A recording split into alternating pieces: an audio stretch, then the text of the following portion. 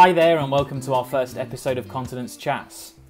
If you're someone who has uh, continence problems, you'll know that it's often difficult to find helpful information um, about living with a catheter or dealing with continence difficulties. So, we've decided to start Continence Chats as a way of ensuring that patients can share their stories and experience with other patients or catheter users. Uh, the idea is that we're going to interview uh, a number of different catheter users um, so they can share their story with you. If you want to take part in Continence Chats, uh, please do get in touch with me below. I'd love to hear from you and I'll give you some more information about how you can do that. Um, today, we're excited to have on the show Tracey Seal. Um, Tracey is a catheter user um, who's had a suprapubic catheter for many years now. Um, she helps a lot of other patients through her Facebook group and through um, a local MS group, and we're really pleased to have her on board today. So let's begin our first episode of Continence Chats. Thanks for joining us, Tracey. Thank you very much for asking me to, to speak today. I'm really looking forward to this. Great, great. Well, um, let's kick off just asking um, a little bit about yourself. So, um, tell me about tell me about yourself. Uh, where you where do you live? Uh, what are your interests and hobbies? What do you what do you spend your time doing? Okay, well, I am 53 years old and I live on the Kent coast, right on the very tip in Thanet, in Kent. It's very sunny um, and it's a, a, very bright day today. Um, and yes, I have lots of hobbies. I, I paint rocks, believe it or not, um, which I leave around the coastline for the children to find, which brightens oh. their day. Yeah. Um, I've also uh, just begun to write music, funnily enough, um, uh, which I'm really enjoying. So, yes, I, I, keep as active as I possibly can, and also with my two support groups, um, which keeps me busy on a very daily basis. So. Tell us about those support groups. What do they involve? Okay, so the first one is for my MS group. Um, I have MS, I've had it since I was 20. Um, and so I started up a support group about four years ago now. Um, and we meet locally, or we did prior to COVID. Um, but now we um, we chat weekly online. Um, and as I'm probably the only one in the group who's had it for 34 years, I've probably experienced more than most, so can offer the most amount of advice.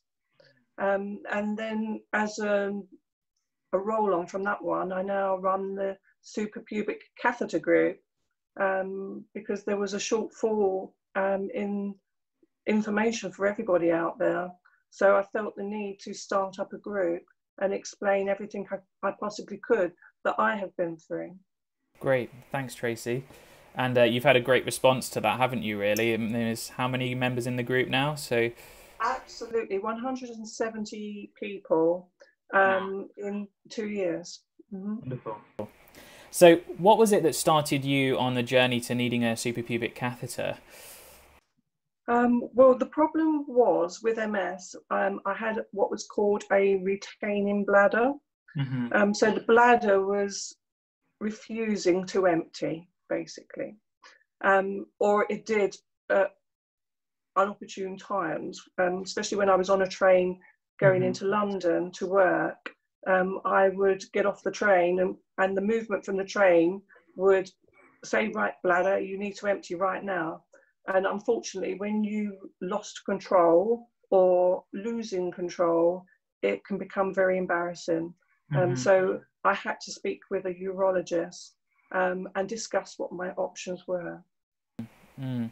And how did that conversation go? Um...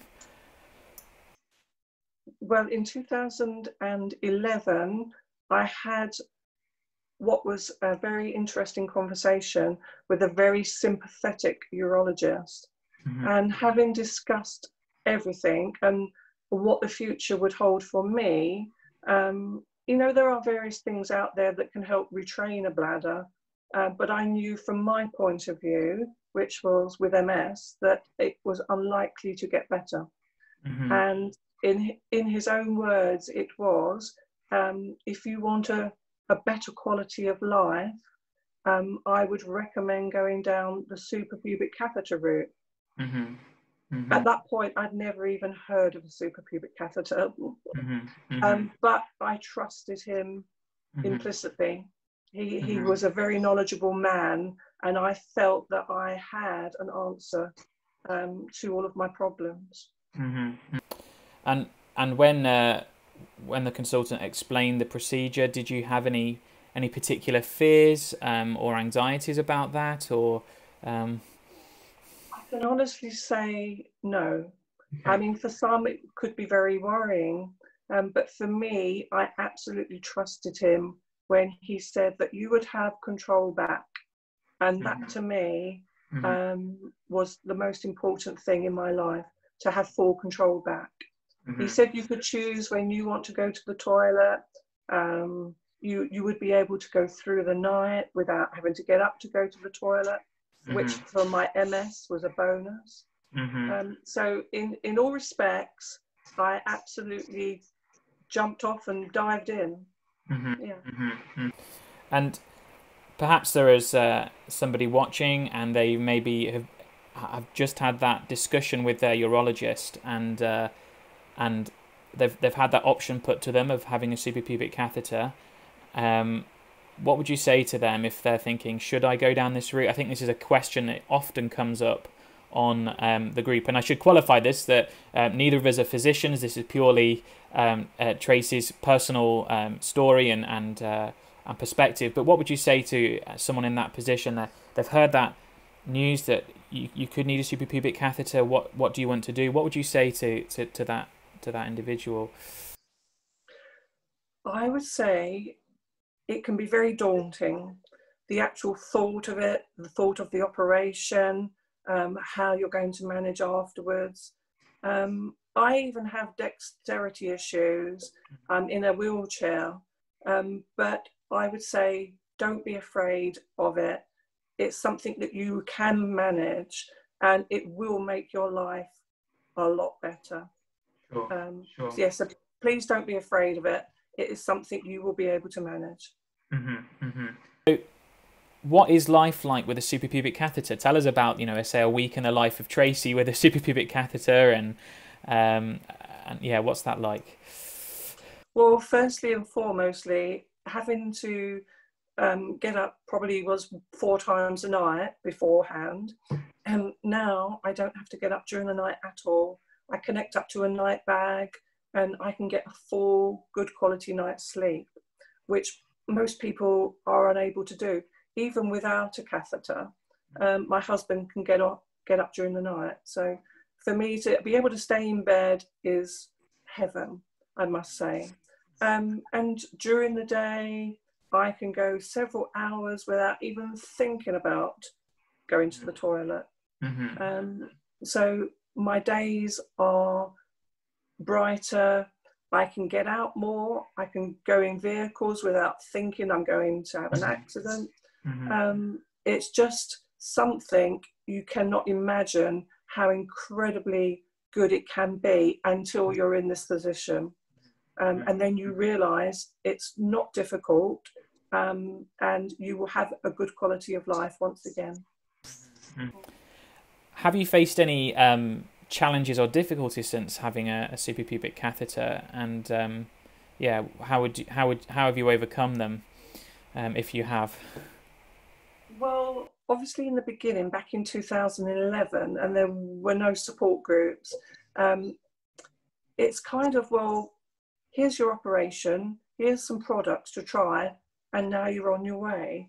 And that was the most difficult part was well, where do I get information from?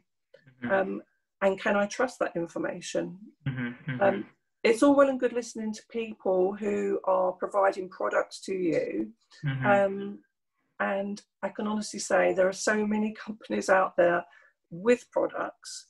Um, it's which way do I go? Which product yeah. do I choose? Mm-hmm. That is the most daunting part. And I think if you can join a support group for suprapubic catheters and speak to other people who are using those products, mm-hmm. and you will soon learn um, which ones are the best ones to use. Mm-hmm. Because obviously, your day would be brighter using the best products. Mm-hmm, mm-hmm, mm-hmm. If you're using a faulty product that's going to leak, or if you're using a product that just does not do what it says on the tin, mm-hmm. if it's causing you problems, um, it can cause you other problems. So it's best to have the best products and use them to the best ability that you can.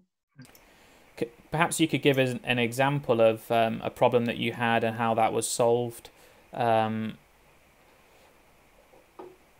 Well, I remember in the beginning there were several problems. Um, I shall start with the catheter.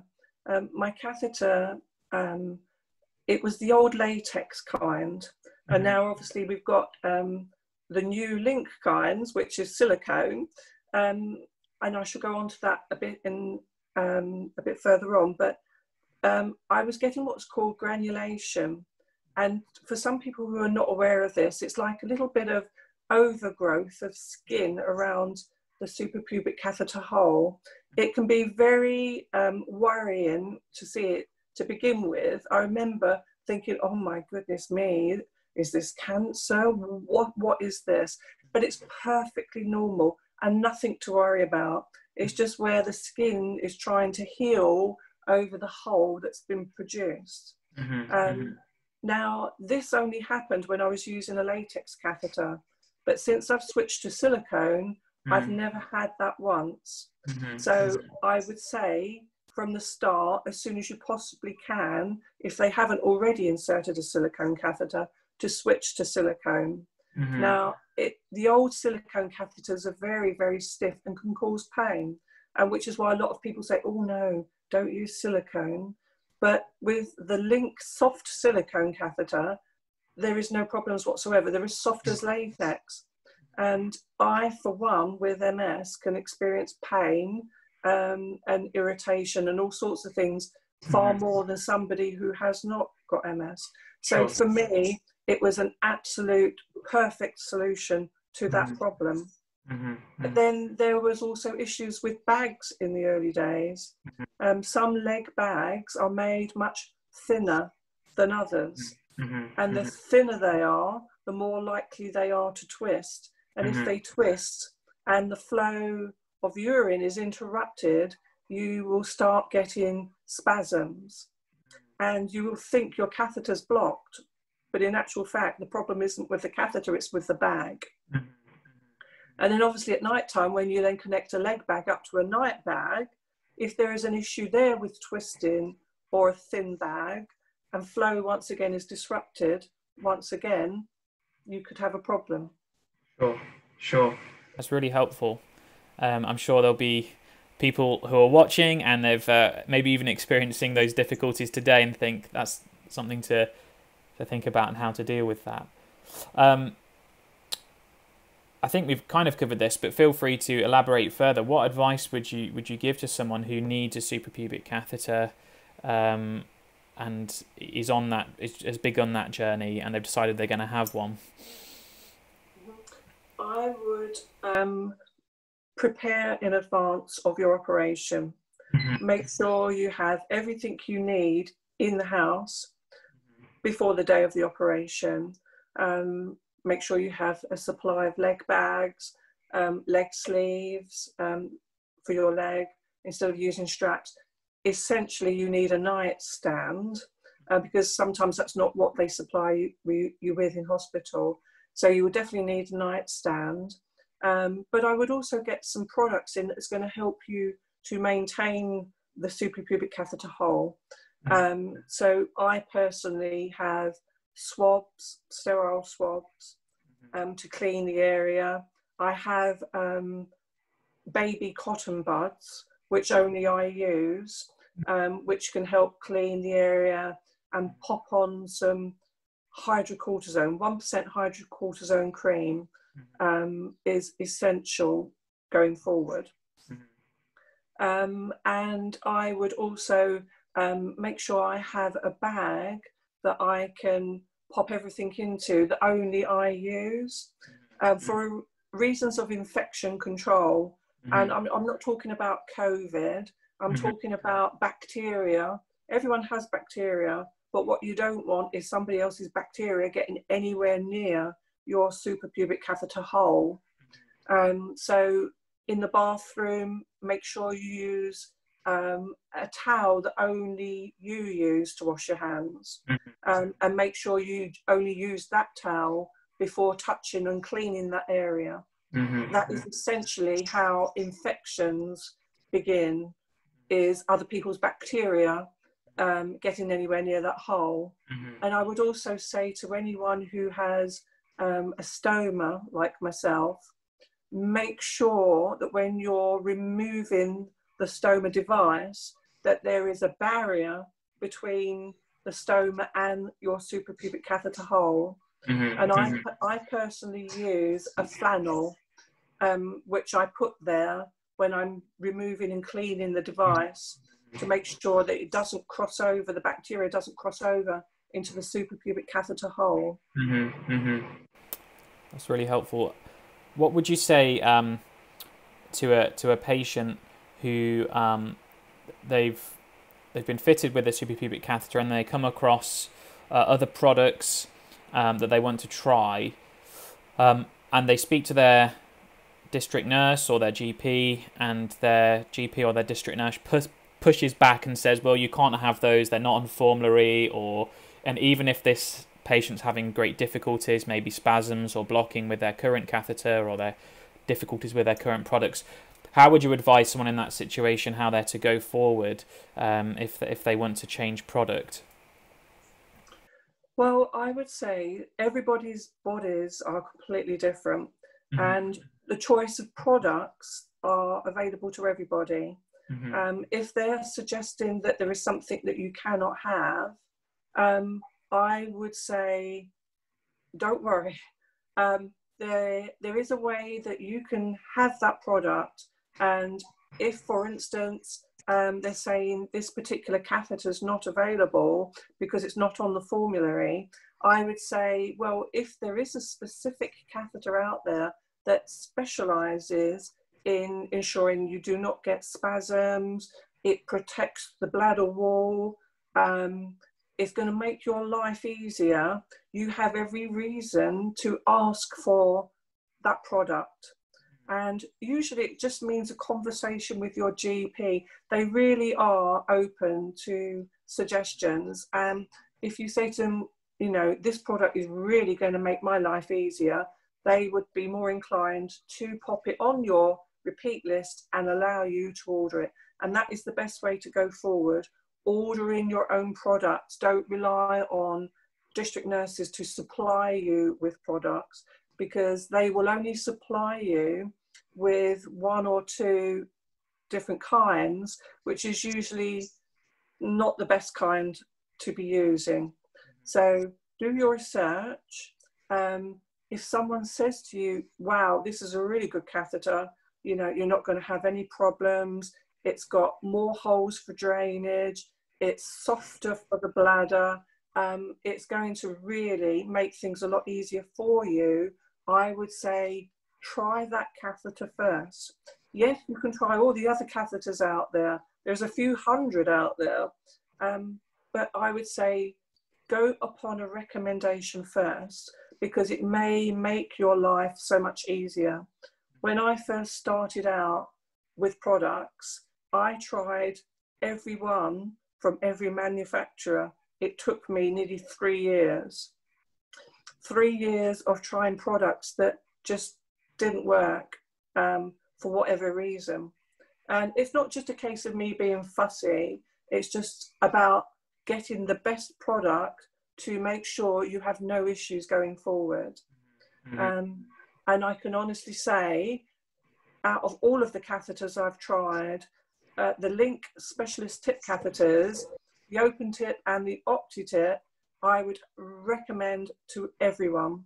It's actually made my life a lot easier um, I can now change my own catheters, which I don't recommend everybody does. But if down the line you feel confident enough into doing so, and it is possible, and that you are confident to do that yourself, then you're more than able to do it, you can do it.